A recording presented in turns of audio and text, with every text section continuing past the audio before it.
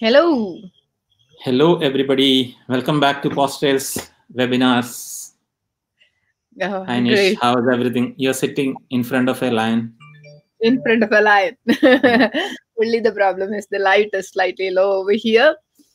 That's fine. Uh, you need you need to get a uh, ring light over there. to brighten up. Yes.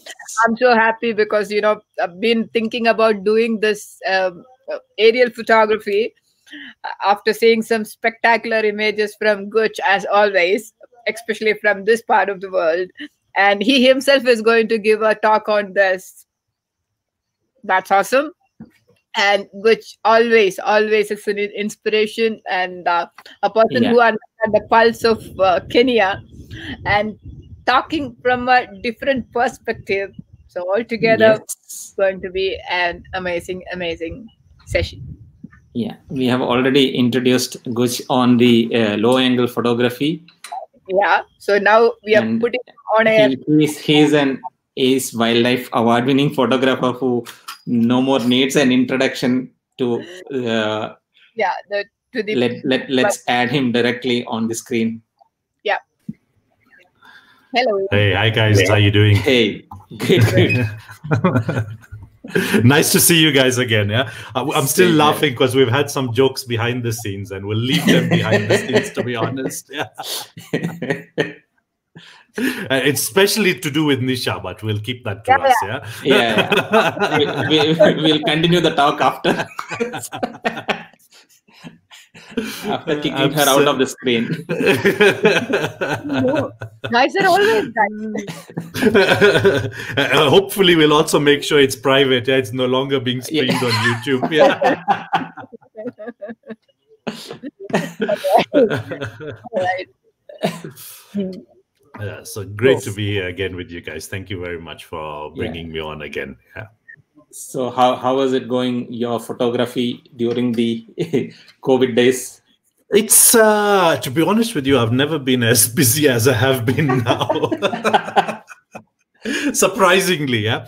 So um, I, I don't know if you noticed the other day, I was uh, asked by Ol Pejeta to come in and do some photography for them with regards Yeah. to black rhinos. And when they said, Gooch, we want black rhino photos, and at the same time said, uh, is a weekend enough? You know, already I was like, oh my God, black rhino photos in a weekend? Whoops. but um, they, they had some they had a really amazing guide they gave me who does all the statistics and puts all that information together knows their territories knows their behaviors which was the biggest key and you, you know once you know that this is a relaxed rhino and this is a very aggressive rhino you know how to deal with it and Yeah. uh, i was let me get into the camera this close to losing my buggy. This close to losing my buggy this time around yeah the, the the rhino went for it and then obviously the buggy didn't move so i don't know what Oh happened but this close. It came it sniffed it it had it relaxed then it relaxed with it. Then after a while i was able to carry on and then again uh the car was pretty lucky as well because we got a few charges to the car as well yeah because i think they're very they recognize the green land cruisers and they don't recognize the silver land rover so it- we managed to solve it it got it worked out in the end and it was it was a it was a nice time we had we even got a chance to go and see the northern whites that's the first time Oh. i'd gone to see the northern whites and okay. i think that's a feeling that uh, you can't really i don't know you can't put it because you're looking at the last two Yeah. that might be or might not be. We don't know yet, but those are the last two, and fingers crossed that they can do something. It was that was overwhelming in many ways. A- Any any ray of hope you see? I, I really hope so. They're really, really working hard, and I Okay. hope that they can get something done. And uh, unfortunately, I was a bit tied up. I couldn't watch the whole event, but Okay. I know there was an update of it on the event, and I just need to sit back and uh, watch the Mm. watch watch the event again. And same with the Angama one. Thank uh, Nisha. Well done with the greatest Masai Mara. I think you're finally free for a month before you start judging in. Oh, sorry, yeah, you're free till end of Jan. Yeah, then you start again.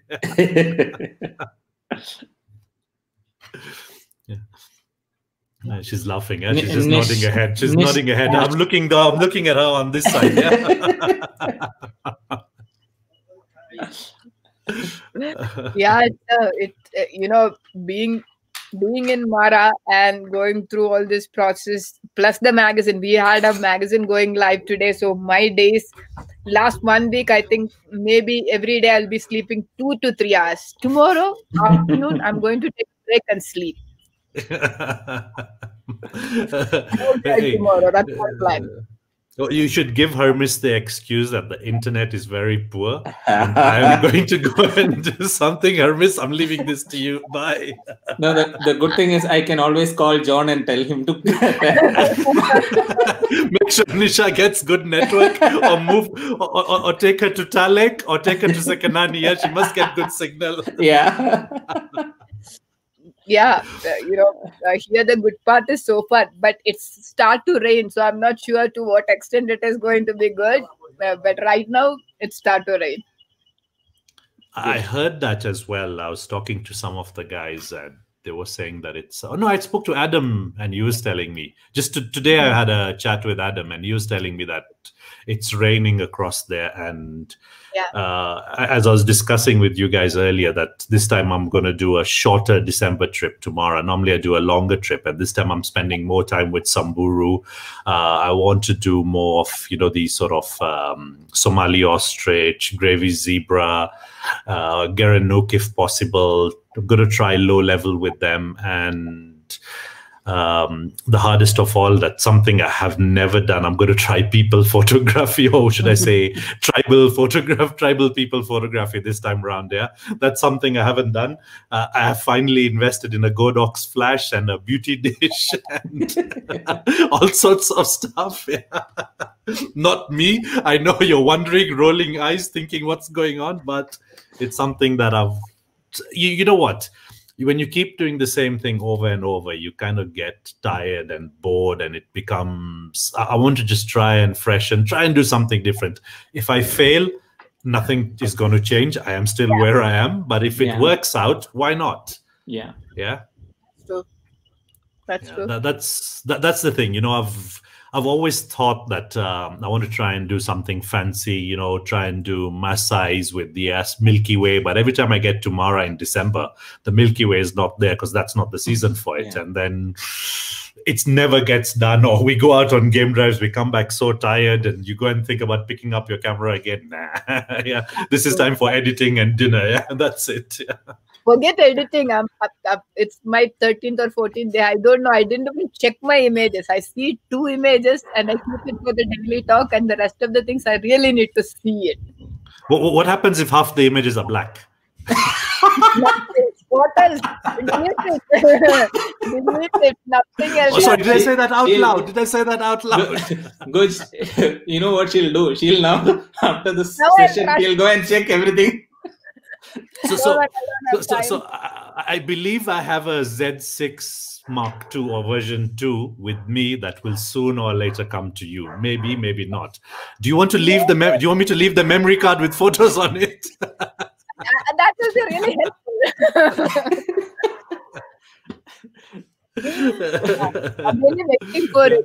I, uh, I was telling the guys over here, I'm going to get a new baby soon from, and it's right now with Guch. I'm hoping to get it soon anytime.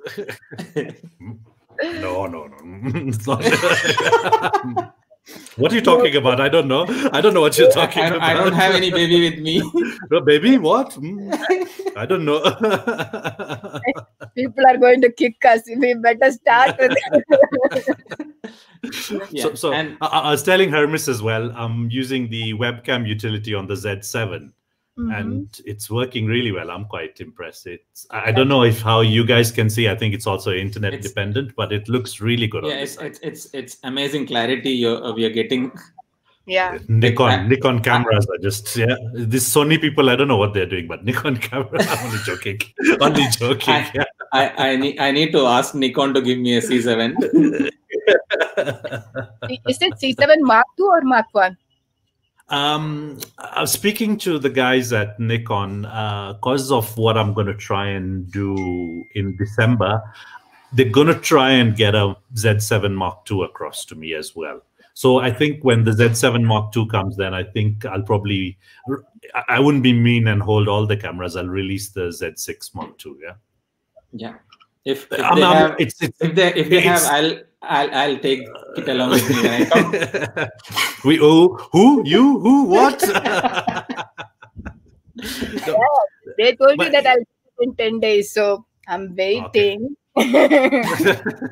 Maybe it's another one. I don't know. the, And, the, the uh, bad part at the moment is it's the the files don't open in Lightroom. So either you'll have to work with Capture One, or at the moment I'm just looking at the JPEGs, and so far so good. They're impressive. Yeah. Okay, great. Yeah, and and Nish, uh, Guch will be there for the new year in Mara. That's Yes. great. Yeah, yeah. We, we, we, we can. Uh, I'm, I'm staying at Mara Bush Camp. Sorry, should I have not said that on, it- on everywhere for everyone to know? But uh, I, I'm going to be there. Yes, uh, I'm spending a lot more time in Samburu this year. Uh, looking forward to that, and then I'll come via Ol Pejeta, Lake Nakuru across to Mara, and uh, let's see. Let's go and have fun. And uh, if it's still raining, good luck. Yeah. Let's catch up. Let's catch up. Yeah. yeah, Yeah. good luck yeah you know i, I know um, last year i was in in the mara with the rains and it was difficult. Uh, you know I, I, I was at malaika camp uh, where you guys usually are and i wanted to go across the road to a camp just two kilometers down the river but on the opposite side. We end up having to do a hundred kilometer round trip to get there. There was so much rain we couldn't cross the rivers. We just had to go with a big loop. So um, let's see because uh, paradise plains are always beautiful and uh, the camp i'm going to be is on that side so uh, fingers crossed yeah, Yeah. fingers crossed we'll we'll try out yeah that's sort of kaboso bahati Yes. yeah or um, wh- what- what's bahati's daughter called um, bella too Bella, yeah, that, yeah, yeah, that, that's sort of that sort of region. So, and uh, you guys, you guys, obviously in Lorient and Yeah, territory. Lucas Cub, and today we saw Golden Boy in the same area. So yeah, it's quite active. So, did the photos come out black? so, No, why? just checking, just checking, just checking. Yeah, I'm jealous already. Yeah, damn it, they're getting to see leopards, and here I am sitting at the office looking at CNC machines cutting metal. Yeah. yeah. yeah. Okay. So let's cool. let's Ready when you guys? Do we go for it? Yeah yeah let's start it. Yeah. Okay. Let's start it. Yeah, we are getting some messages. Okay, hurry up, yeah. Stop chatting away. Yeah. Uh, I think I'm getting some messages as well. Yeah. Oh yes, yes. I'm, getting the same thing. People are watching. Yeah. All right. Uh, screen share. It's on sharing. Yeah Uh, yeah yeah. It is.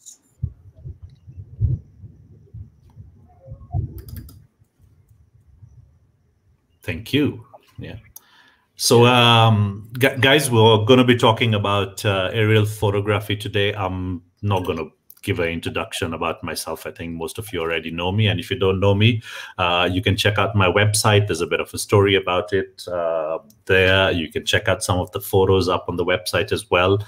And um, social media pages as well, which you've probably picked up from Paws Trails or myself. And th- this year, compared to most of my years where I have spent more time photographing flamingos, formations, shapes, um, in Lake Magadi or any of the other lakes that we've been photographing. This year, I spent a lot of time on the helicopter trying to photograph animals. I did a lot of trips to Mara, and here are some of the results of the trips to Mara. And you, you know, uh, an island in the middle of uh, a middle of the river. This is on the Mara River itself. We've got uh, Hippo Island, basically, and beautiful, beautiful scenes. Uh, I know I'll keep saying beautiful so many times, you'll probably get tired of hearing it today. But uh, by all means, please butt in and let's change the topic from beautiful to something else and let's talk about some photographic conversation at the same time. Uh, the EXIF data, for those of you, if you can see it on the top left hand side, uh, usually you'll find that most of the EXIF data will be on high speed or 1 1000 upwards. Uh, the reason for that is the vibration of the chopper. When if you're not the, the, the chopper is vibrating so much that if you're not using high shutter speeds, chances of getting sharpness are really poor. Even uh, I'll try and recommend that you even pick up the ISO. Sorry, sorry, not the ISO, the aperture slightly. So rather than shooting at a f2.8 or f3.2, try and shoot at f6.3, 7.1, f8, somewhere around there, unless you want to be creative and you're trying something different. Yeah. But the, the bigger part with this is all is the, the trouble with uh, aerial photography is that the landscape you, you know like when you're down on the ground you can see all the contours you can see everything in the landscape.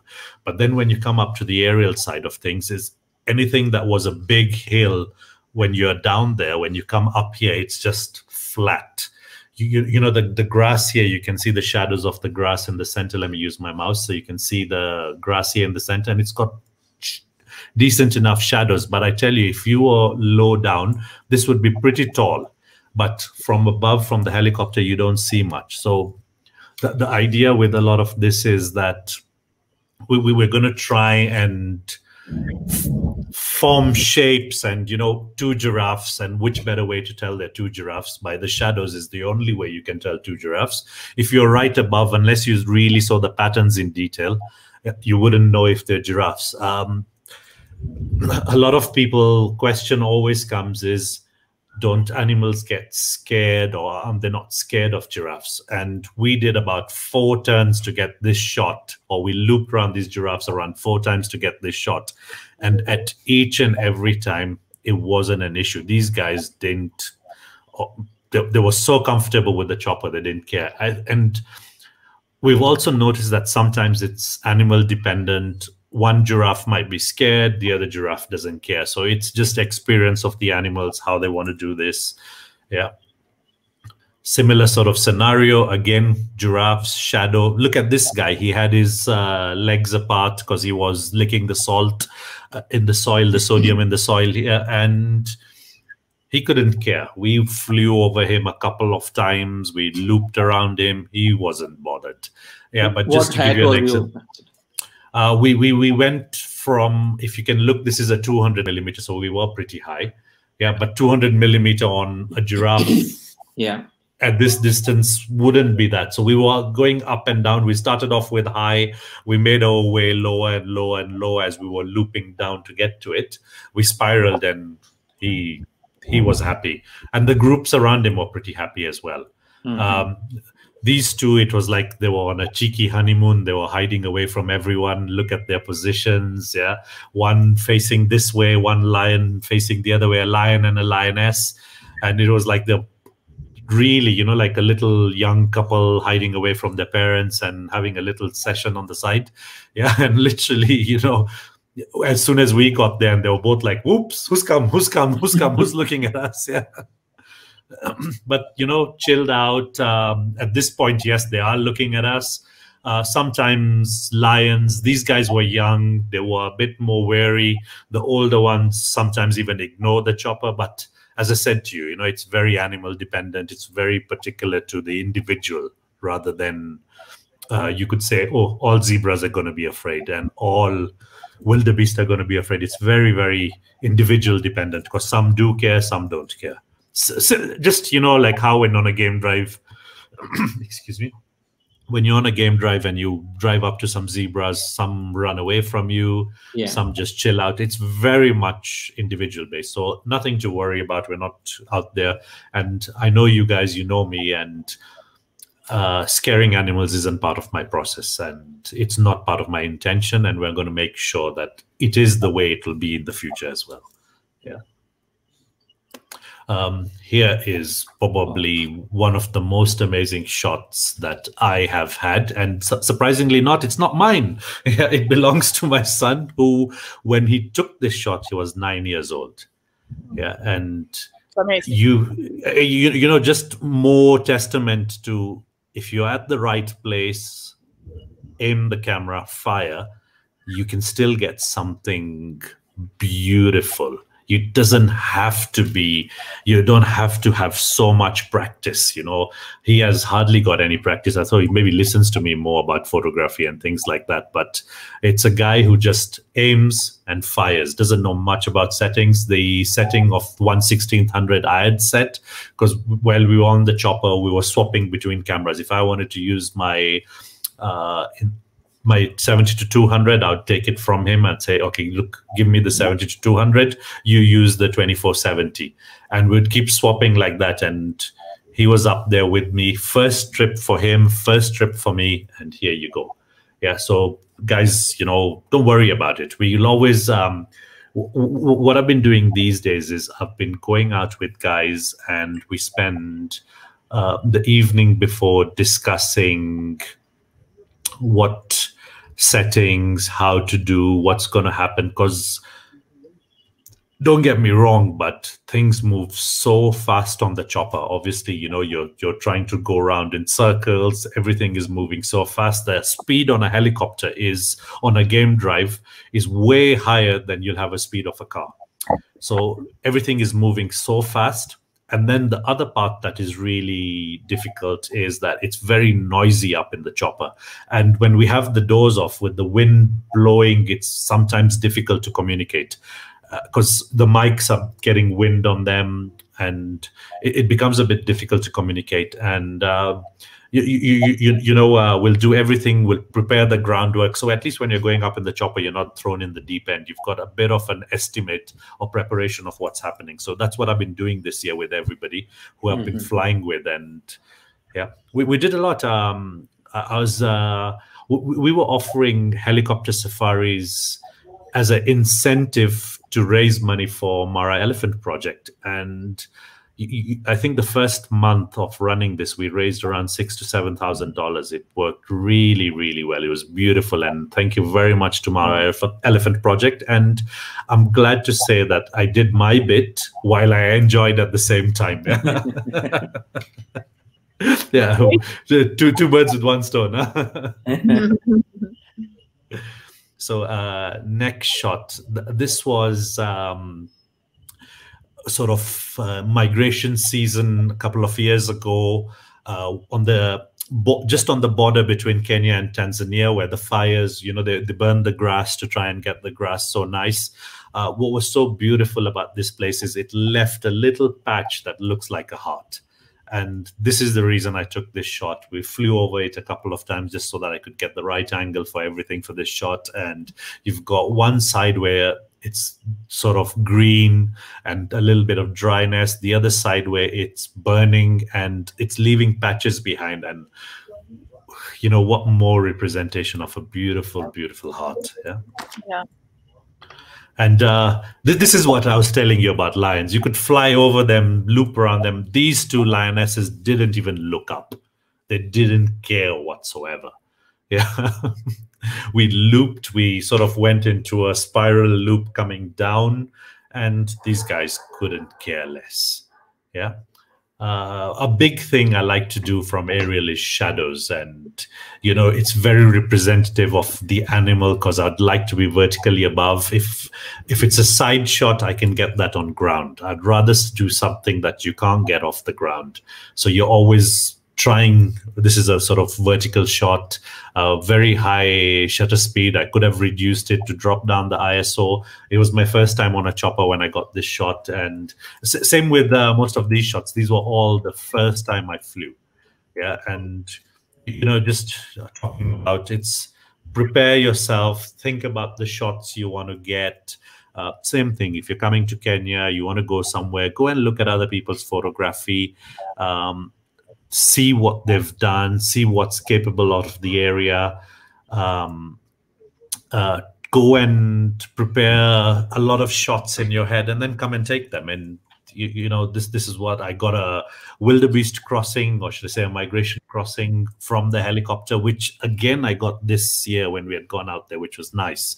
Yeah, but wow. this was a small group yeah uh, we went out too late i didn't real didn't learn this the first time um, we were trying to aim for sunset, but in a helicopter, because of the vibrations, uh, you're trying to keep the shutter speed quite high to get sharpness and a little bit and obviously the consequence of that is the iso goes up as well. So these days we try and target five o'clock rather than six o'clock because there's still light we've still got shadows or let's target 7.30 onwards in the morning because at that time the sun is more brighter and the shadows are still long. It really works.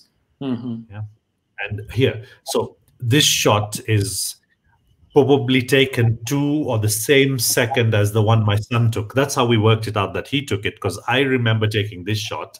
Whereas when i look back at the time the two of them were about one second apart and there's no way i could have dropped the camera and picked up another one and taken it within a second. So you know but this shot uh, was actually uh, even he's even this one was when I say he's good, uh, my sons, and this one was also converted into a a beautiful scarf by Mia Miyakora. Yeah, it's called Flying Pink Love, and it makes this amazing scarf. Honestly, um, there's a new collection out, by the way. Uh, again, everything to do with Magadi, nothing else. Just Magadi, just animals, and just birds. Yeah.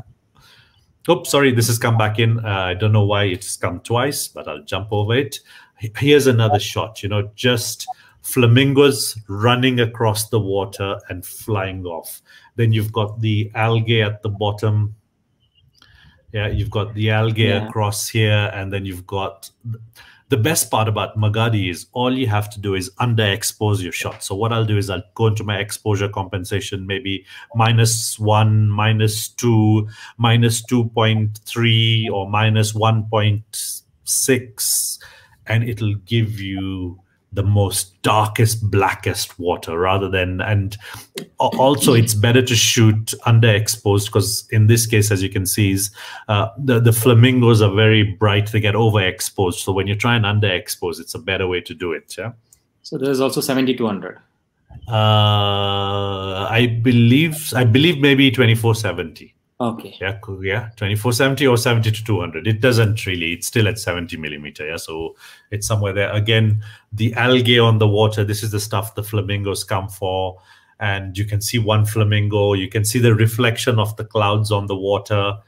Yeah you, you know being up here it's not around picking that detail on the bird it's trying to pick up all the it's it's trying to pick up composition it's trying to build uh, it's hard to explain sometimes but you know you're trying to pick up a group of animals and you're trying to build something. We've got a little island here in the middle and again the flamingos all just chilling out. There's a little dead tree in the center because of the island and you can see the flamingos kind of going around the dead tree and you know so i i, I sometimes uh, when, when when i don't have more photos to look at i might most of the time go back to these aerial shots and just try and build the stories around this try and work out you know how beautiful it is. Because a, lot of times when you're up there you don't get the time to understand what you're shooting. You just shoot if you know what i mean yeah? And you come mm-hmm. back and you're like oh wow. Oh wow. Oh look at this shot. Did i take this shot? Yeah? So they're not black shots they're coming out of the camera Yeah, yeah, yeah. yeah got it, got that was- uh, for, yeah, for those of you who didn't get that, rewind and then you'll watch it from the start. You'll get it. Yeah. No, by the way, Yeah. we saw Luluka hunting. Huh? Uh, She's, she's trying to rub it in now. Yeah, but it might be a black shot, so I don't know. Yeah, we haven't seen the shot, so she's got. no Nobody has proof, seen the shot.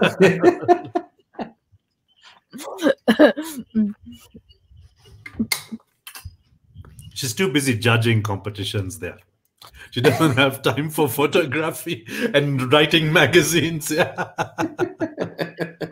I need time to sleep. The good news is today you might get a little bit more, yeah. But we can tell John. I have his number. We'll tell him to wake up later. Yeah. yeah, yeah, yeah. leopard, leopard in the camp. Wake up, Nisha. Leopard in the camp. Yeah. There was in camp last, I think, not camp, yeah, but near, very near. Oh wow, beautiful. I, I honestly I miss the Mara man. That's such a beautiful place. Yeah. I, I- think a lot of our friends are here. A lot of Yeah. our friends. Yeah, yeah, yeah. Uh, I, I actually got a call from Nikon and they said, Why are you not in the Mara? Because everyone else seems to be. yeah, so we're going to use Z7, but you're not in the Mara. Yeah? Sorry, Z6, but you're not in the Mara. so, again, uh, as I was uh, com- coming back to this, is um, what I was just trying to say, same thing is. Um, reflection sorry shadows you know it's an early morning shot a nice composition, not of the wildebeest from above, but the shadow, the way the tail seems to have lifted up, like you want to give it a start, you know, like the old cars. Let's start the wildebeest and let it run, you know, wind it up, yeah. And just it, it looks like it's I don't know, it's some, you know, such a boss you know i'm the boss and i'm going to give you this position and that's what i saw when i saw when i saw this shot that's what i thought about yeah well, I'm losing words now. Yeah? and again, uh, uh, this this is um, the swamp just by Observation Hill in Amboseli. Again, underexposing the shot, so the water came out so nice and black. We actually had a family of one, two, there's four, five, six, seven, seven of these elephants here because you can see uh, the mum right at the front that's drinking water. There's a little baby just suckling her just down there yeah? Yeah and the, the funny part is when they do hear the helicopter all the kids come close but you had one on the left hand side who was quite relaxed and the moms didn't stop carrying on drinking water. They're still very comfortable drinking water washing themselves. Uh, so they, they were enjoying themselves and this makes such a beautiful the greens and everything coming back together it makes a beautiful shot yeah um, hippos in the swamp, yeah, in the green swamp. Uh, we we actually had this shot printed out, and we had it at the exhibition at the yes. Nat Geo event. Yes, this was printed yeah. out. It, it, it looks so beautiful printed out there. It was. Thank you guys. It really really looked nice. Yeah, and you know just mom and baby just enjoying swampy waters. Favorite hippo place. Yeah, yeah, and. um now that it's raining so that means all the rivers are filled up. So you're not smelling the hippo waters anymore are you nisha? No no but it, instead of riding we most of the time we are gliding.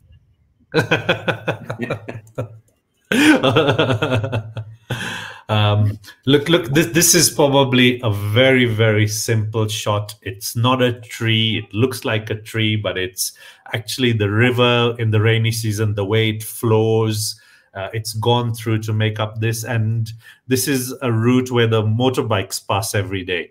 Yeah so you've got this route across here and the river flowing which is left a little estuary kind of making a sh the shape of a a little tree. So nice something different looking at whatever you can get. And then uh, back to lake magadi again. Um, this yeah this yeah exactly. This is where the uh, this was the pre-production Z7. I had the pre-production Z7. I wasn't even able to edit these photos in RAW because, again, uh, at that point, Lightroom couldn't hold, uh, work with the Z7, and we got these beautiful, beautiful shots. This is again pre-production Z7. I'd taken it up there to go and get some shots. Yeah. Yeah. Oh. Yeah. Just one bird. Uh, I'm not sure. Is it still loading? That's probably why. I'll, I'll go slowly, yeah, just to make sure the computer can keep up with me. yeah, jump it. Oh, yeah, this one's still. Oh, here we go. Yeah, again, uh, single frame flamingo running across the water, leaving those uh, footsteps behind. Yeah, this there's one of this, and then there's another one I've got, and I'm not sure if I've added it to the slideshow but uh, will it show up? Let's see. Yes, I've added it to the slideshow, so we'll talk about it when we get to it. So these sort of shapes, designs of nature, I'm just in love with. I love it. This is the shot I was saying. I love this shot. The shape that, oh. as the pelican was swimming, it left this bowl wave behind it. I just love this shot and underexposed because the white pelican in bright light whereas the water you know the the, the differential between the twos is quite high so you underexpose maybe go down by uh, mi- minus as minus two, minus two point three, something like that, and uh, you, you get all this sort of stuff. And here, look at this. The, uh, the yeah, on, on this lake. Honestly, when you two come or you're here, let's plan a trip together. We should go and do this. Yeah Sure. and yeah, uh, uh, this at this uh, Lake Magadi, we get a lot of um, soda ash that's mined from this lake, and I believe the soda ash also is what we use for making glass and those sort of things, and it leaves all these colors and most of the photos are from this lake and you'll find in this case you've got the pinks and the whites and a little bit of orange and then we had earlier on the greens yeah and then we had some browns as well.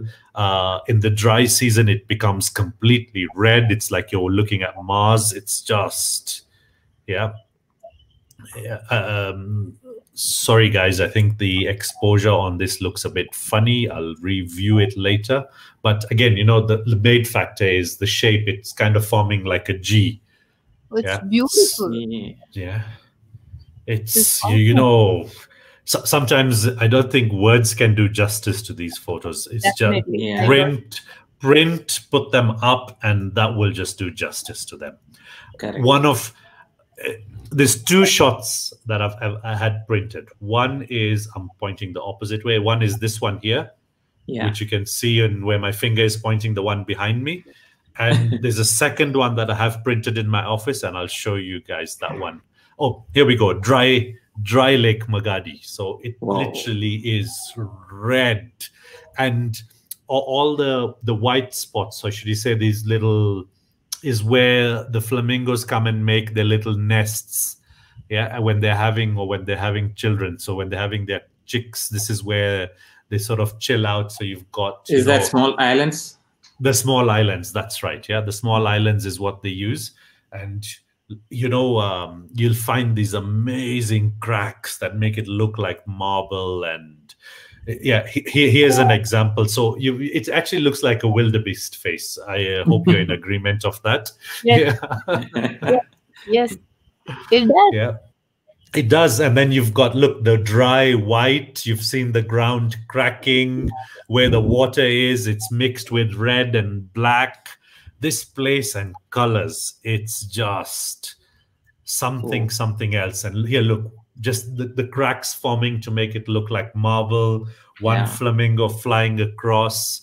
It's Beautiful. just honestly it's special. This place is so so special. Where it's dry you can see it's going very whitish. Yeah next time we can take some polish and polish it up so it looks all shiny and yeah, Totally agree. yeah.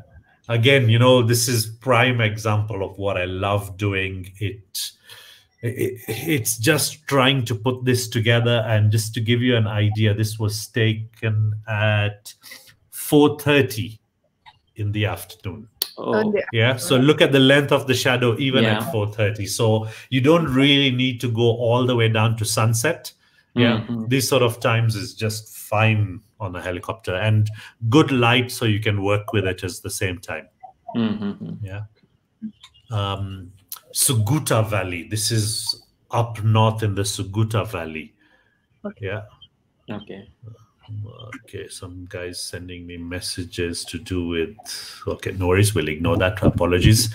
Um, yeah, and this place it's inaccessible by road. There's no roads up here in northern Kenya, and the scenic stuff here was just so beautiful. But you know, us guys, we are more wildlife photographers. Yeah, we need something to photograph. Yeah, so in this case, where we try to work with this, yeah. Uh, this is the we, we, we also have a desert in the north part of Kenya. Uh, Mhm. Unfortunately, it's as lovely as the shot is. Unfortunately, I wish I was here more closer towards sunset rather than in the middle of the day. And then you know, with the shadows on the areas which weren't getting the sun, would have looked so much more Yeah. better. But hey, I'm not complaining. You know, when you get to sit, you know, you can plan things down to the bottom, but sometimes nothing ever works out. But this is such a such a beautiful place. Yeah, this is still up there, Suguta Valley. I was told that um, this place is very dry. It barely rains. We had rain clouds. We had a little bit of rain. Yeah, unfortunately, if you know me well, everywhere I go, it just rains. Yeah.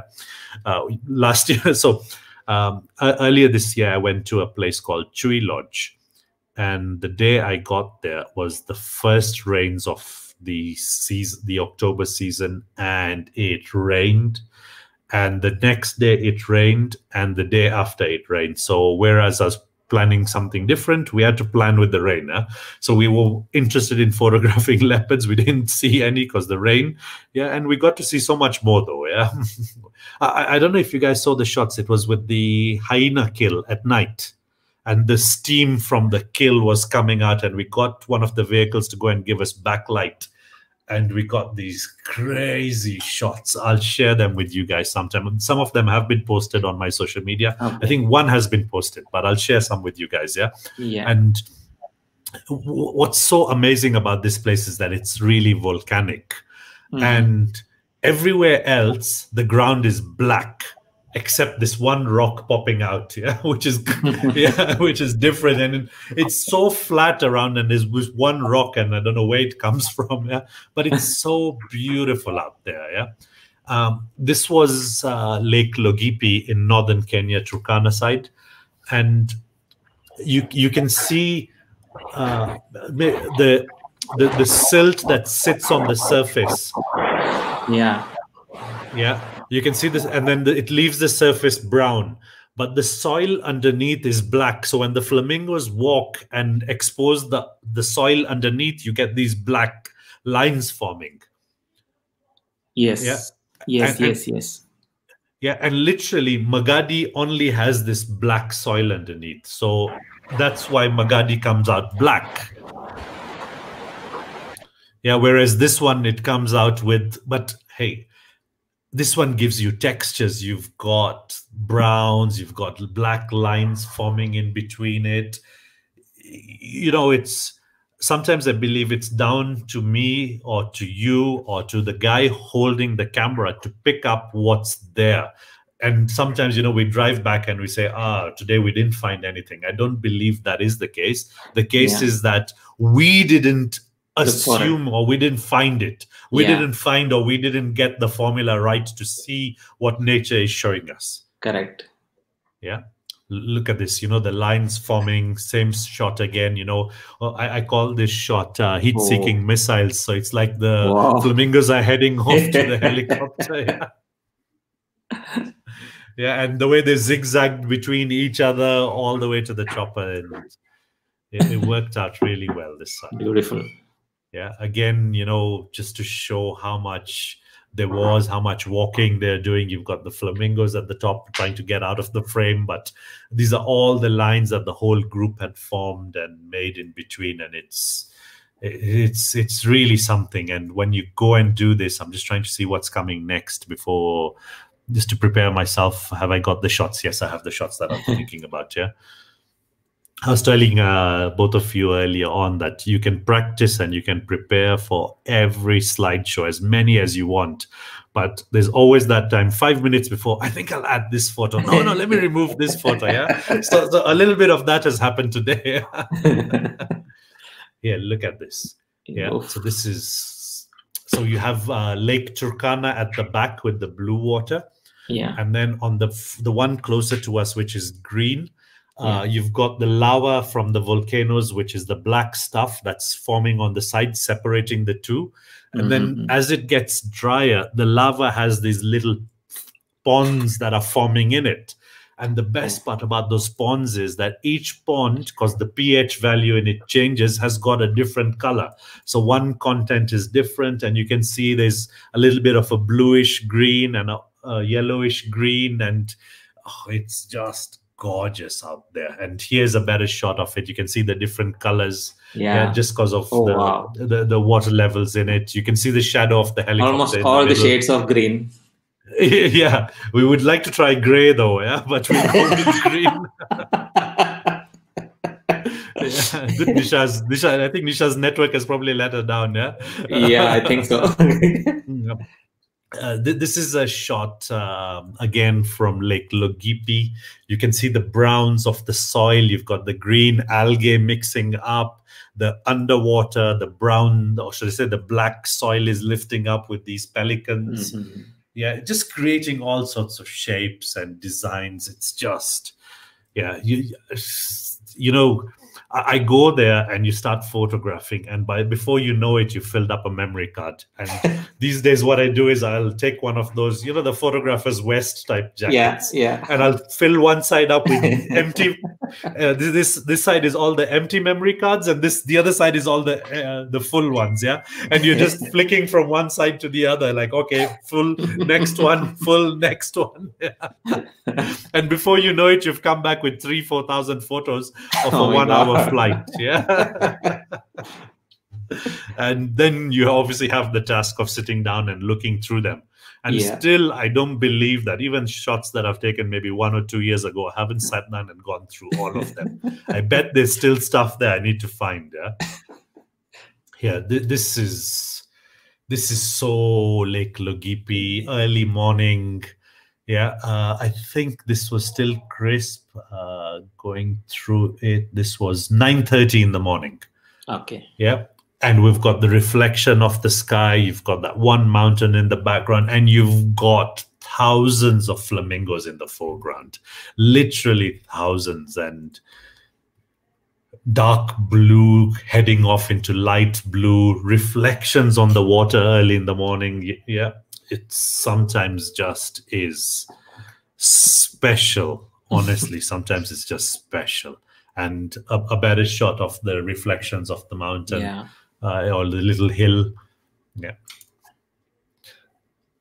The vastness of this place is so beautiful. And just, you know, when the water level rises even more, you can see all the plains in the back. They all fill up with like a very little layer or maybe two inches, three inches of water just spread all over this place.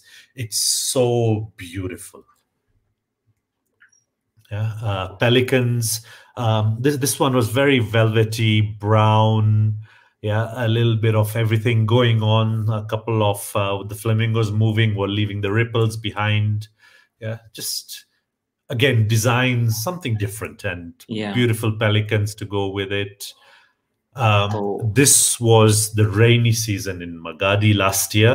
Um, it was so so so wet out there that th- when the rain was coming it was bringing all the silt you can see the Mhm. black Yeah. the black of the lake still trying to find its way through and it's Yes. leaving in as the water flows in it was bringing in these beautiful lines and honestly you know we were trying to see if we can get the flamingos nearby we managed to get the big group of flamingos to fly over just to give you a scale of how far we were how small one of the flamingos looks and they were all um uh, yeah th- these were the the larger flamingos. They're the the greater flamingo and they're much much more larger and the wingspan is so large but at the same time you can just tell how vast or how big or how far i'm taking the shot from.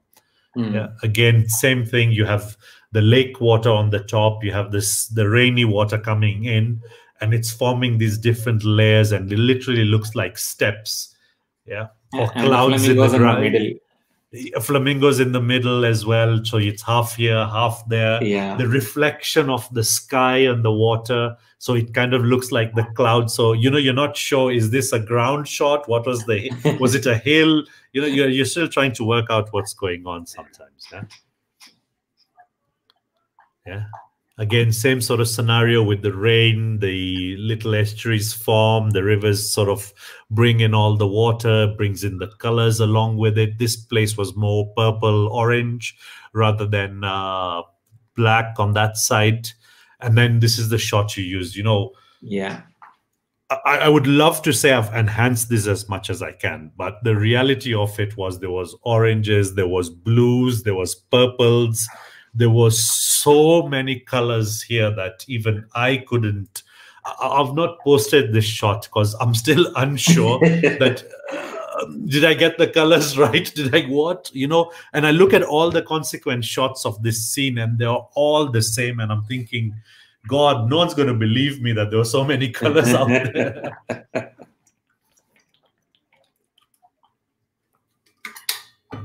But that's not the reason I go there. I go there to go enjoy myself and push myself to as far as I can get to. And yeah, you know, some of these are testament. And he, here's a shot again from the helicopter. Uh, it is aerial, but it doesn't look aerial. Um, Mm. It is a reflection on the water of the zebra. Uh, I've inverted the shot as I always love to do, especially with my cheetah drinking reflections. But the, the original zebra is below and the reflection is at the top. I've got another one in store, which is even nicer, but we'll go through this slowly, slowly. Uh, ze- zebras running across. Uh, it was really, really wet, so you know you can get the shine in the ground because the water is flowing. Yeah, there's a little bit of a level of water. It's muddy. Oh, honestly, this is and it's just you, you know Magadi. This is mainly Magadi, and I think you know you, if you go to Magadi as a photographer, you can come back very, very satisfied. Uh, another way of taking aerial photography, I'll come to this, but uh, white rhinos, yeah, you look from that angle and you can see they're proper large guys. Huh? yeah, they're super large. Yeah, yeah, yeah. But um, this this was taken at Solio, yeah, we're above and nice. You know, just trying to be different. And this was a very different idea that I've used. I'll share with you guys what I'm trying to do here. And here we go. This is again a reflection shot. Wildebeest running across the frame. Uh, I've gone overexposed here to try and get as much of it bright as possible, and it worked out really, really well.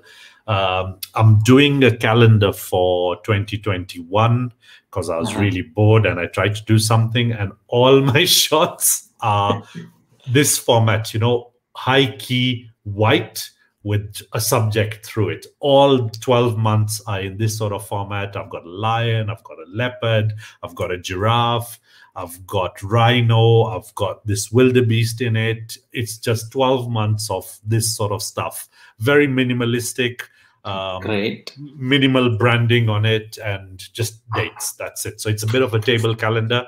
Uh, I'll share it on my Insta later on. So I'll I'll get it when I come when we meet. Absolutely. I actually Yeah. I'll bring some along for you guys. I'll bring Yeah. some along for you guys. Sure, sure. And um, he, uh, crossing, I got a crossing this time with a helicopter. Uh, what we tend not to do is we don't go over the Mara River because Mara River gets very busy with vehicles Yeah, and the, the last thing I want to do is boom, boom, boom, boom, boom, boom, boom, and chase everything or create something. And you know, true to its testament is people are never happy, no matter what happens. Yeah. And we, we've seen videos circulating of wildebeest trying to cross a particular camp. Um, they try to get through the camp, but when you go and speak to everybody on the ground, I wasn't there in person, but you know, we spoke to a lot of guides and i spoke to a lot of guides and said look what's going on what was that story with the camp and he goes good reality of the fact is that the camp definitely isn't a crossing point but they were seen crossing the camp so why did they cross through the camp it's because all the vehicles were blocking the crossing point so the wildebeest Oh. had to find another place and they went through the camp but the videos don't show that the videos just show the wildebeest trying to go through the camp so now there's a witch hunt against the camp you know what i Yeah. mean yeah, yeah. yeah. So uh, what we tend to do quite strictly is if there's vehicles around, we'll stay away. We've got, you know, being in a helicopter, you've got availability to so much space. You can be on the other side of Mara in five minutes. Yeah. Whereas in a vehicle, it could take you two to three hours to get to the other side. So we can Mhm. just go on the other side. We'll probably fly over Sand River, which is a lot more quieter, or simply go into one of the conservancies, which we're allowed to fly in, which we can do whatever we feel like. We can Yeah. fly in through the conservancies, Lemek, Mara North, where Mara Elephant Project is very, very active. They've got a Mhm. helicopter that does a lot of work.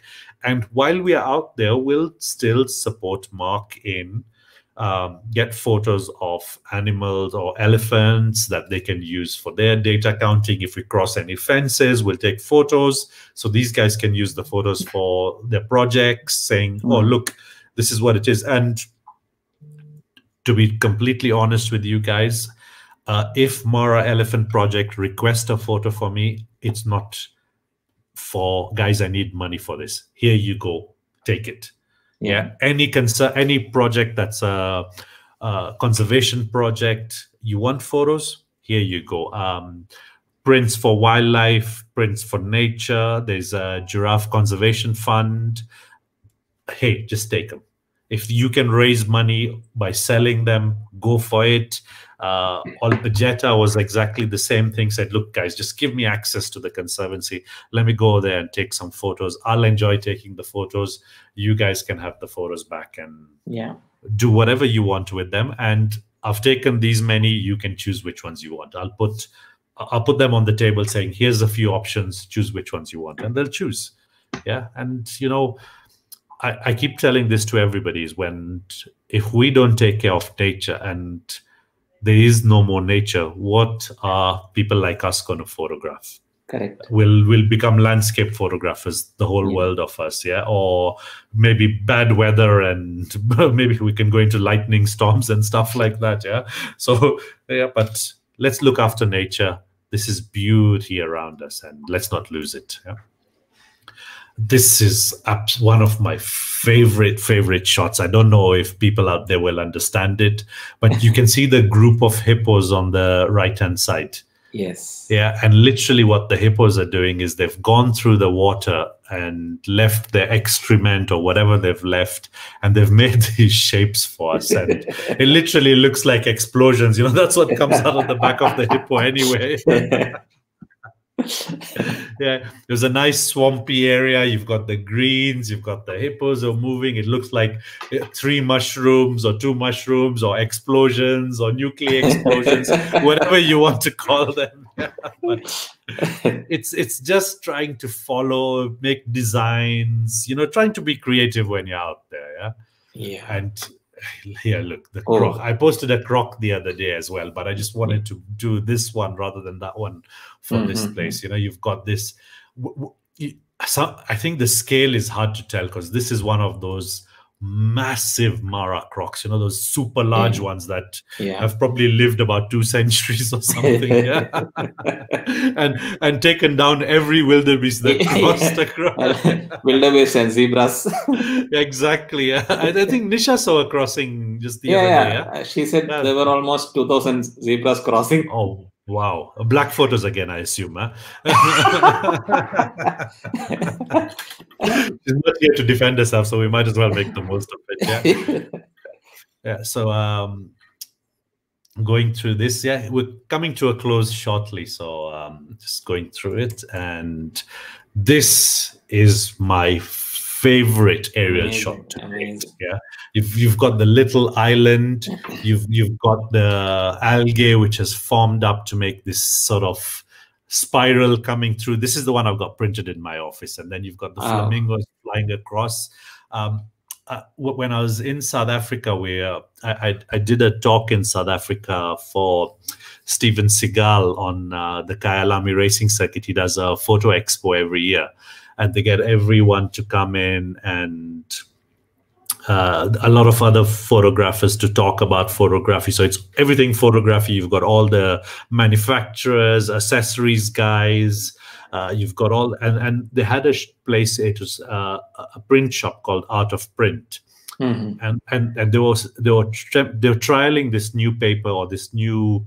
They had like a matte board and a shiny board, a glossy board, and we had a discussion and they printed this shot on the glossy board and they use it in their showroom. And honestly it looks phenomenal in that paper. Yeah or whatever that board is or whatever it is. It i'll stay away from the technical bits. I'll just say the art on that thing looks so so so so beautiful. Yeah and then finally like i always like to do is oh sorry we've got one more. Rhino again uh, talking about shadows trying yeah. to show that it's a black rhino because it's got the one hump. Yeah. And the question always comes in how do I do it? Here we are doing the opposite, trying to go super low speed to try and create some drama from the helicopter, trying to be a bit different while exploring up there. And again, I, I you know you'll all understand that this thing requires a bit of a budget. Flying on a helicopter requires a bit of a budget. Um, normally charges are around a thousand dollars an hour but if you divide that by three passengers or if you want me to be on board you can divide that by two passengers and it's cheaper than a balloon safari to be honest with you but Yeah. here is we, another we already option. have a, a message from Shreya Patel. Uh, one day, Yes. One day I'm going to do aerial photography with you, Guch.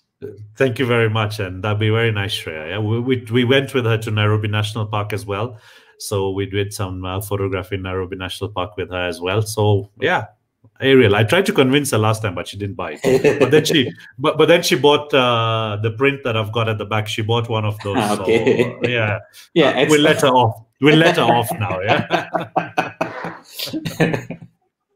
yeah but um just to uh the, the current setup that i'm using for aerial is um if have you used uh have you seen one of these poles that they use for um real estate photography Ah, yeah, yeah so it's one Yeah. of those poles that extends up 10 meters yeah. yeah and here it is you can see uh, Oh. my colleague holding it up i'm Oh. holding the ipad because we're using a CamRanger so i'm Okay. looking at the f- the composition from the ipad and we're moving it around and we're firing away yeah Okay. so uh, this is one of the northern whites we've got zach who was the who's the keeper and he's Mhm. putting some carrots there for the northern white so we can get the northern white in exactly where we Yeah. want it to yeah i don't bait but obviously this is uh, yeah just to be clear i don't bait but this is not a this is not a wild rhino yeah this is a uh, should i say it's a very tame rhino. You can walk up to it you can touch you can play around and they're very very nice. Uh, the, the the the part that is you know when you get there first thing in the morning they come and they sniff you. And they want to sniff you. They want to make sure they know who it is. And when they're sniffing you you know they're pushing you around. And for them it's just a little bit of this. And you are like yeah, yeah you've been thrown away. Yeah. yeah. Okay just catch me just catch me if you see me flying yeah. Yeah but uh, yeah that was the last shot and just wanted to talk about this again. Uh, as always please feel free to ask anything you wish. Yeah, we we in fact got a lot of uh, messages rather than questions about your photography. thank you very much thank you very much yeah So yeah, uh, Cynthia is saying hello. Uh, ah from argentina yeah yes. Yes, Uh, nice the macro photographer Fayaz Muhammad Parker, Bhai, our yes yes yes yes. yes from uh, we, we met in dubai yes, Yes. nice my regards to him as well And uh, Shaista from London, he's saying uh, hello to Guch. Hello to you too yeah nice very nice Yeah. to see everyone Uh, there and people want to know something more about Guch, can always visit his website, gucharan.com, yes right? yeah gurcharanroopra.com Ah, gurcharanroopra.com. gurcharanroopra.com yeah Yeah. And we have one question Is the balloon more comfortable than chopper? Absolutely. if you are of the faint-hearted and you get a lot of, uh, uh, should I say, um, uh, t- when you go up on a helicopter, uh, sorry, on a, uh, if you get airsick, helicopter's not for you. Yeah, if you can take med, if you can take the tablets and then try after, why not? But the only trouble, if if you want to compare the two, is on the balloon you get one chance, and if the animal moves out of line, you're missing it. Whereas on the helicopter, you've got the opportunity to say, I didn't get my shot. We want, can we please go back? And we go back and we fly over again to get that shot. And uh, we keep doing it until you're satisfied or until the pilot says, Look, I'm bored of this. Yeah. One of the two. Yeah. But with the helicopter, you can keep going back and forth. Whereas with the balloon, you're, you're very stuck to uh, your direction and which way you're going. Yeah. Whereas on the helicopter, you've got the freedom to do exactly as you wish. Yeah. Yeah. And uh, Peter Peter Hudson, our Hey, Peter. hi. yeah. n- Shoot- nice to hear from him. shooting- shooting like this is such fun, and Guch is the master. He's saying, yeah, obviously he he, he so w- one day I was supposed to be traveling on the chopper and we were supposed to do two trips, but because of a delayed flight, we end up doing one trip. And on the trip was I'll not mention, but Peter was on it. So Peter, this is not going. This is not going to sound good in a short one but. The, the pilot lifted the chopper up like two feet from the ground, put it back down, says, good your lunch was too heavy. Get out. I remember this. yeah, I, I, was thrown out of the chopper. And Peter, you went on that chopper, yeah. So I'm not saying anything, but I'm saying something, yeah. Yeah, and Peter is saying, uh, I like high key images, interesting and artistic. Although I find judges and others don't like them very much. Yes, yes, um, for sure. Uh, I, I, I understand what you mean. Um, my view is I'm doing this not for competitions. I'm doing this for fulfilling my internal fire, or I'm enjoying fulfilling this fire by going out there taking photography. I, I loved uh, low key. I love high key. Uh, seems like I don't know how to take color photos anymore. yeah, so but uh, we're trying. We're still trying.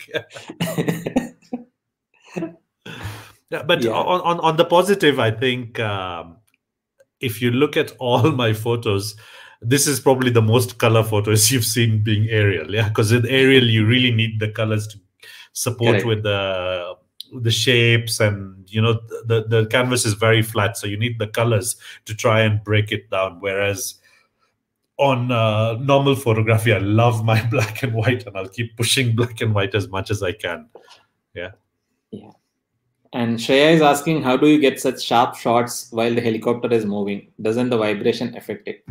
I, I use Nikon Shreya. Yeah.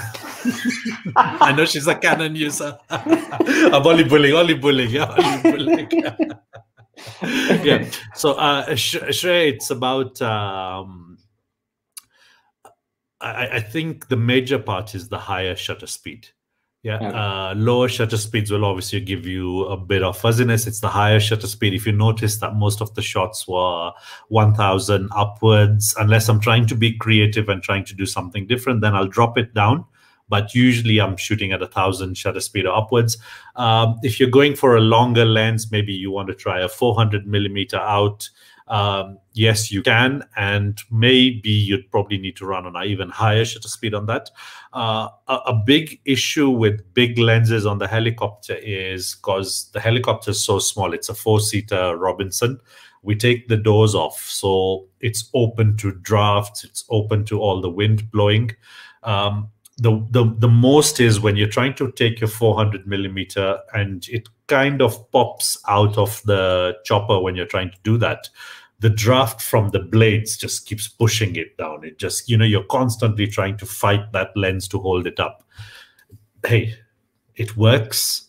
It's down to you trying something different. And if it works fine. And if it doesn't work you know what it is. But for sure when i'm up on a helicopter uh, when it doesn't work, it's a very expensive doesn't work. Yeah. so we want to try and make sure we'll do the workshop. You know, you can try and bracket the shot, or we can try and you can try and take a couple on high shutter speed, try and take a couple on low shutter speed, just to try and make sure you've tried, you've tried, and you know what you've got. But preferably, I'd recommend 1000 upwards or faster.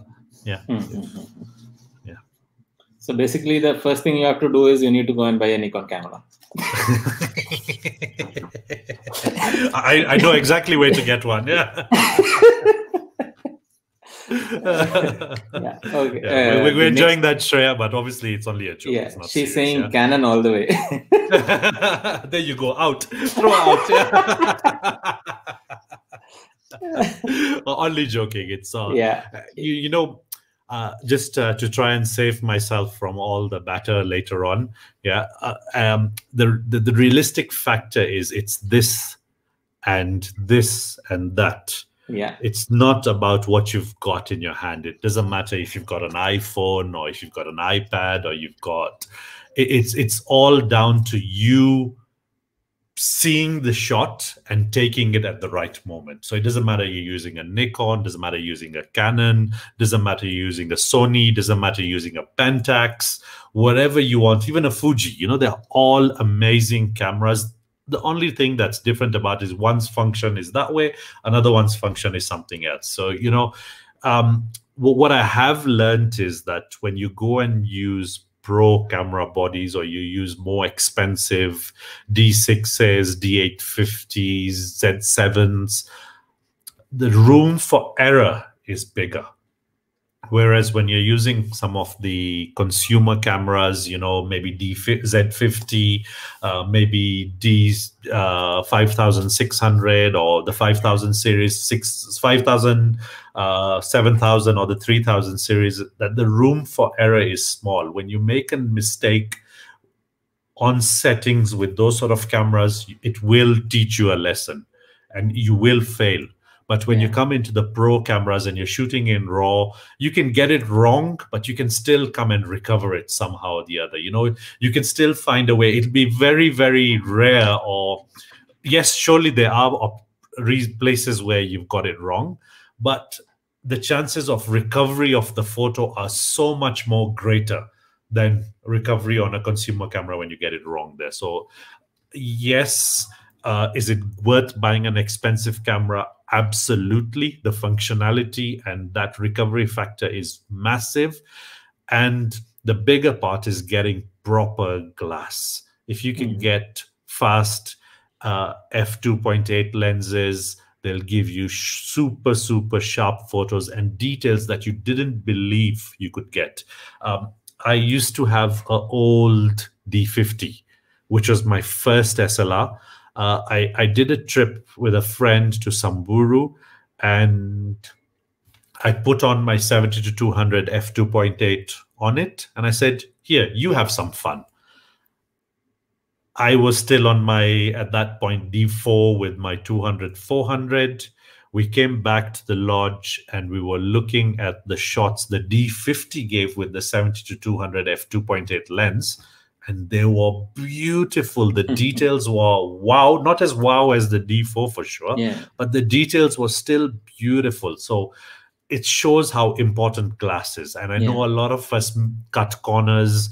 We like to buy, or we, we look at a 204 or no, what's the current one? The 180 400 with, and I know it's a $12,000 lens. And then you go and look at a Sigma 150 600 right. and you say look it's not 600 yeah the 150 600 or something yeah yeah and yeah one, yeah i think so uh, uh, yeah. to be honest i'm not a i'm, I'm not sure not saying anything bad to sigma it is the price difference is significantly lower by a lot. Yeah. but then when you start putting that into wildlife photography and low light you then understand why the 180 400 is so expensive. Yeah. Yeah and you know it's you can go and buy a d6 and then put the 150 600 and your shots will still not be wow. They'll be good but they won't be wow. But you go and put a proper nikon 400 2.8 uh, even a 180 400 on that d6 body and look at the magic it'll do for you it'll honestly give you magic back and we both had the opportunity because I think uh, the D6 that I had came from you, Hermis. We yeah. both had the opportunity of testing that camera, yes. and I was honestly blown away with the focus on that machine. Yeah, correct. And we have a, a question from Fayaz by Have you tried Nikkor uh, 500 PF lens 5.6? No, I I haven't. Yeah, if you're willing to give me one, I don't mind trying it. we, in in in uh, Dubai, we are not uh, getting it for even for testing. Every time I check with them, it's out. It's I don't know who is taking it. it's it's so light. Um, I, I met a photographer who had it, and we did a game drive together. It's so so so light, and the hmm. shots are super sharp as well. But it, it's um, it's it's just so easy to carry and you know you look at a 500 f4 and it's yeah it weighs a ton and then you look at a 500 5.6 and you're like really yeah uh, uh, and you know it's what 23 centimeters without the cap you know it's literally yeah. just that that tall yeah that long and you're thinking and it does get good shots no i haven't tested it um, one day I will probably get the opportunity to test it, uh, and we'll see how it goes. Yeah. Yeah. I've seen good shots out of it, to be honest with you. Yeah. And uh, what are the benefits of helicopter over drones?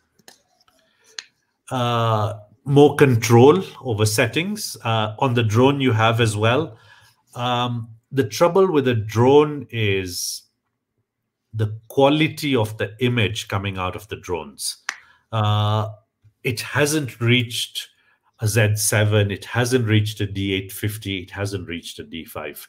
Maybe one day when they do get to that point, then it's really worth considering a drone but until or unless you get to that sort of level with a drone it's not. Unless you pick up one of those drones with eight fans on them and uh, eight propellers and it can pick up an slr then yes it'll be worth it. Yeah.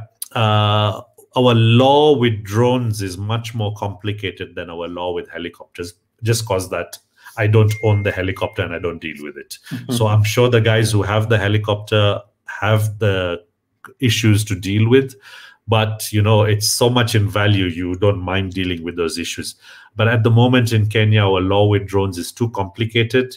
The expense of running a drone license is as much as running a pilot license nearly. So it still makes helicopters cheaper in some sense or the other.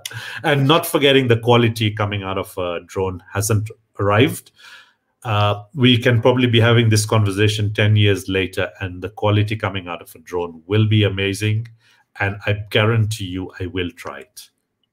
Yeah. Yeah. i, I did have a mavic.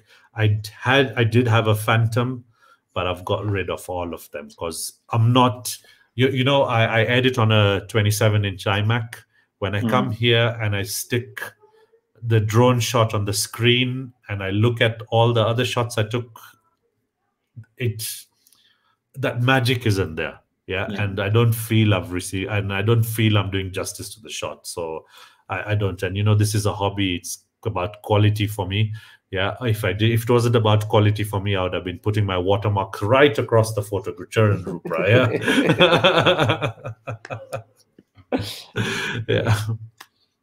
Uh, and uh, do you shoot in helicopter with the windows open? We we shoot without the doors. We take the doors off. We leave them at the camp or wherever. Yeah we we take the doors off. So yes we completely um my beard flies off. So uh, we, we make sure. No but depends where you sit on the helicopter. Uh there's so much draft that then starts to go through that um you you then have to end up with um you can't even have conversations on it. So sometimes we struggle to even discuss with each other what's going on. So sometimes you know we'll be sort of saying okay i'm coming onto the intercom. Uh, we have lions that have been seen on the other side and we have a crossing happening on this side. Which way do you want? Number one for lion number two for crossing yeah and then the guy goes okay number two number two yeah Or all sign sign language? the sign language yeah so yeah but uh it, it is and then obviously we can slow down the chopper but that still doesn't stop the draft because it's coming from the fan Yeah. But- and how? Yeah. go on go on go on tell me No, no, no. Finish. Let's. okay so then i said but the best part about a helicopter compared to a drone is the adrenaline charge that goes through your body flying in a helicopter it's so much fun honestly Yeah. Yeah. And how much is the post production role involved when it comes to aerial photography? so so how much does the Post production role, role in ro- role of post production, post processing. uh, post processing, uh, if you underexpose the shots, uh, to be honest with you, not really much. Um, usually, you'll remove shadows and reduce highlights. But when you're doing post processing for a helicopter, you'll do the opposite. Yeah, you'll increase. You know, you want darker and brighter because it then gives more Yeah. shapes and it gives you more differences in it. But um, no, I don't think it's much more. I mean, you can start going into Photoshop and try putting layers and layers on top, which obviously you can decide to spend four or five hours on an image if you want to. But normally I spend 30 seconds to five minutes on an image maximum. Yeah. Yeah, so that be it. You know, obviously Yeah. over time speed has become important, but you, you know the effort of sometimes trying to change photos, add clouds, try to do this. I know Photoshop has made it a lot easier because they've done that sky thing now. Yeah, I've never tried it by the way, but the the the, the best way is get the shot right the first time or take two or three shots, bracket them, and put them together. That's about it. Otherwise, post production, maybe just you know enhance the colors slightly, reduce or increase the shadows, uh, play around with the highlights, maybe a bit of dehaze, stuff like that. That's about it. I, I don't really want to do too much more than that. Yeah. And what is the best time of the day to shoot, uh, go for helicopter shoots, and how do you control the light? uh, being wildlife photographers, uh, controlling the light, let's not even go there. We have zero control over it. Uh, very recently, I was asked to arrange a chopper trip for when it's a stormy, gloomy day. How can I plan for that? Nothing. Yeah. So we just have to do the best we can or assume that your luck will bring everything. Uh, light, I would either do uh, if you're not fussed about shadows, then maybe even lunchtime is fine. You underexpose your shots. Uh, if you're bothered about shadows, um, anything from seven in the morning to nine nine thirty, and vice versa from four o'clock to five thirty six will be fine as well. Yeah, it's usual time, similar to a game drive. Um, shadows being the operative word or whatever you're trying to do um, I, was having a conversation with jeffrey wu and we were discussing because we are trying to do a lot of low level photography together. And we were discussing about helicopters. And he goes that he enjoys his helicopter photography between 1 to 3 p.m he likes it in harsh light. And his shots are phenomenal on uh, aerial photography but Mhm. you, you know what I mean? It's it's personal preference, and I totally totally appreciate. You can't go out there hiring a chopper for eight hours and shoot all eight hours. Yeah. Uh, if you're ever going to do that, please make sure you bring me. I'd love to do that. Yeah, I'd love to have an eight-hour budget on a helicopter. Yeah. we do morning, we do evening, we do lunchtime. We can get the chopper to sleep with us at some lodge or the other, and we do it the next day as well. Yeah, uh, and um, but I, I find the morning hour is very crisp. The evening hour is a bit more softer, and I'd go for the morning crisp hour. That's nice. The shots there are very nice. okay. Yeah. And, And hope your luck takes you. Hope your luck gives Yeah. you the light that you need there. Uh, Subi Sridharan is asking, are there any conservancies that allow drone photography? Yes. You, whenever you're traveling, wherever you're booking, just notify the conservancy in advance that, look, I want to come and take drone photography. I want to come and take uh, beetle cam, turtle cam, whatever you want to call it, type of photography as well. And they'll give you the nod, yes or no. And if they give you the no nod, it's your option to either go there or consider going elsewhere. So it's totally up to you. But yes, if you speak to the conservancies up in advance saying, look, this is what I want to do, uh, any objections, they'll be upfront with you as well. Right. Yeah. Yeah, or they might also give you that factor saying uh, it's not legally allowed, but we don't mind uh, as long as you don't start putting it all over social media saying we, we do this or we don't do this. Yeah, and they'll most of them will allow it, no problem. Okay. And for sure, you know, the parks don't allow it. So you can't do it in a park, but conservancies, yes. Uh, it's down to the conservancy owners if they want to allow it. So just speak to the guys. They're happy to. Uh, you, you know, when you're open and honest with the guys, look, this is what I want to do. Uh, some might ask you to sign an indemnity. Yeah, I've signed indemnities. If a rhino kills me, it's my problem. Yeah, it's not the conservancy's problem. But hey, at the end of the day, these are animals whose self preservation is also important. There's no way a rhino will attack you. Black rhino is a different matter entirely, but there's no way a white rhino or something will intentionally attack you with the intent to kill. It will only attack you if it feels threatened. So as long as you don't threaten the animals, you'll be fine. Yeah.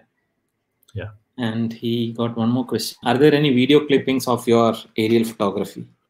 Yes, if you go onto my website, um, do you, uh, let me I'll- just I'll- uh, yeah, if you just go to gurcharanroopra.com. Let me, I'm searching for my website. Yeah. so on, uh, hold on. Sorry, have you done this? Uh, let me go on a different browser. Sorry. Here we go. Okay. And then when I do a screen share, you can see it together. Mm, Okay. I'm just opening, yeah, maybe here and video. So, um,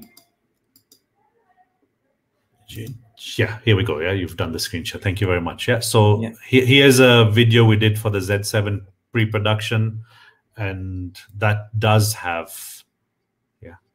Ca- Can you hear the sound come through? Yeah. Yeah.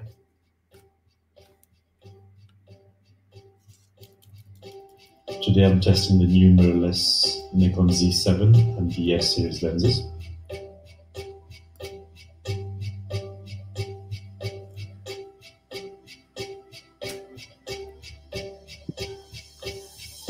So to, towards the end of this, there's some clips of. Uh, I'll try and jump across. Throughout the flight Yeah. of the skip.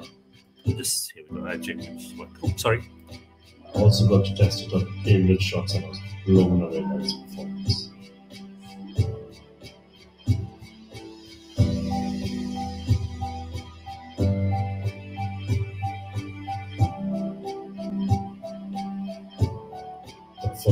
47.5 megapixels ensured that I didn't miss any detail.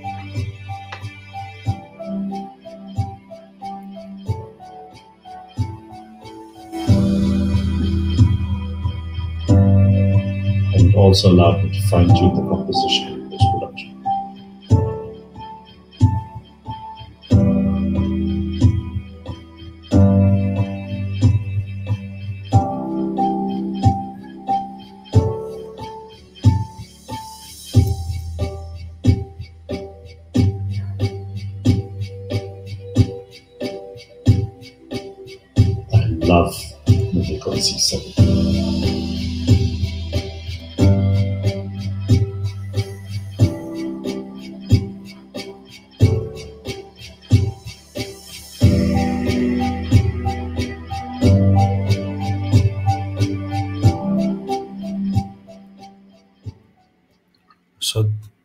that's one of them. There's not so much more.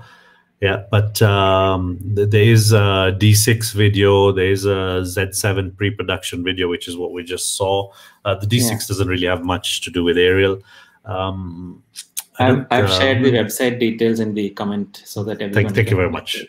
Yeah, appreciate that very much. Thank you. Yeah, that's Yeah. good fun. Good fun Yes, party. yes, this is our party. This is. This, I think this is our livelihood in one way or the other. days, huh? Yeah. Yeah. I'm, I'm glad that we started this initiative. So yeah. I don't only do aerial photography, I do other types of photography as well. but th- this is something, you, you know, the initial start of all this was um, for my 40th birthday, I decided to get myself an aerial tour of Kenya, and it was traveling from Nairobi to Masai Mara. We spent two nights in Masai Mara, including an aerial tour. And then from Masai Mara, we flew across to Lake Magadi. We spent uh, an hour flying over Magadi, from where we went across to Amboseli. We spent uh, half an hour flying over Amboseli, and then we were flying back to Nairobi. So that, that was like uh the triangular tour that I was doing for my 40th. And uh, thanks to the availability of the helicopter, I had to uh, delay my birthday by a week. Yeah. so, so, I- so I'm a week younger now. Yeah. So you also revealed that you crossed 40. Uh, but, but and that was a while ago. Yeah. yeah. Have you not seen the white now?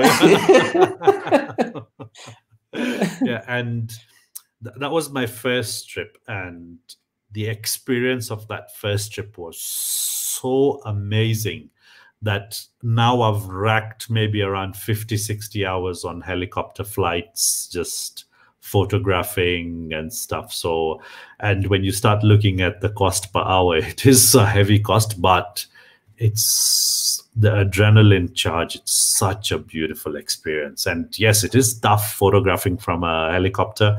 Um, I had a couple of friends who wanted to just experience a helicopter, and I was like, um, you guys go experience it. No, no, no, Gooch, why don't you come and take photographs and we'll experience you flying or we'll do the we will do the experiencing you carry on photographing and we did that and you know the guy was like um, i know him since i was a very young kid and he goes to me and he goes gooch i always had respect for all your photos but now seeing what you do from a helicopter i have the utmost of respect for you now because it is crazy you know when you're trying to bank left and drop it this way so you can get a very vertical shot and you're trying to when you start doing all your loops to try and get to the same place over and over uh, it, it does really get you know that sort of low gravity it drops you down and then you fly off again and then you slow down and then you kick it up again.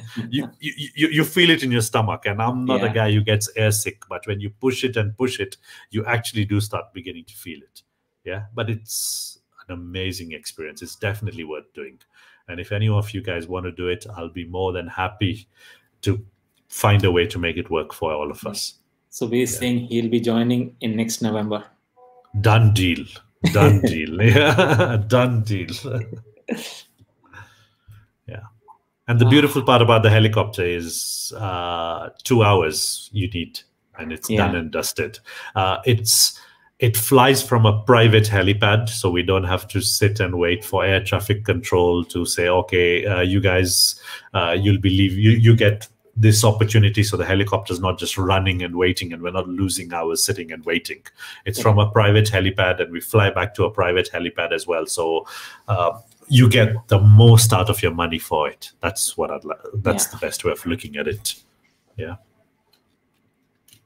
Great. I Yeah. think we have covered all the questions and super messages. Yeah.